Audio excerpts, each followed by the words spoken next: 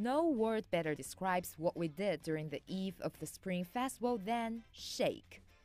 Millions of Chinese got involved in the sending of digital red envelopes through mobile phones on Wednesday night.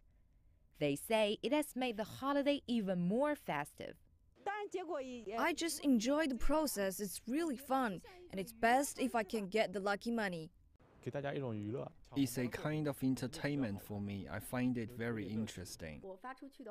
I don't care how much I get or how much I send. The most important thing is sending a digital red envelope can make us happy.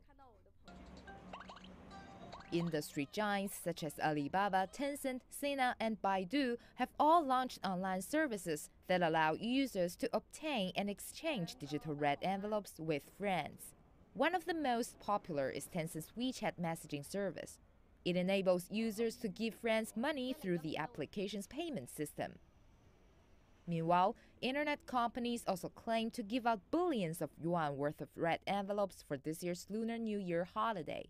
Alipay, an online payment platform, and our e-commerce giant Alibaba sent out 600 million yuan worth of red envelopes over a nine day period between February the 11th and February the 19th, while Tencent plans to give out 6.5 billion yuan. For these companies, it's not just to please their users. Our aim is to turn our users into potential customers for their mobile payment services. Although some critics complain that it's all for commercialization, for most Chinese, it's just a fine activity and marks another change in the evolution of the festival. Xu Geng, CCTV.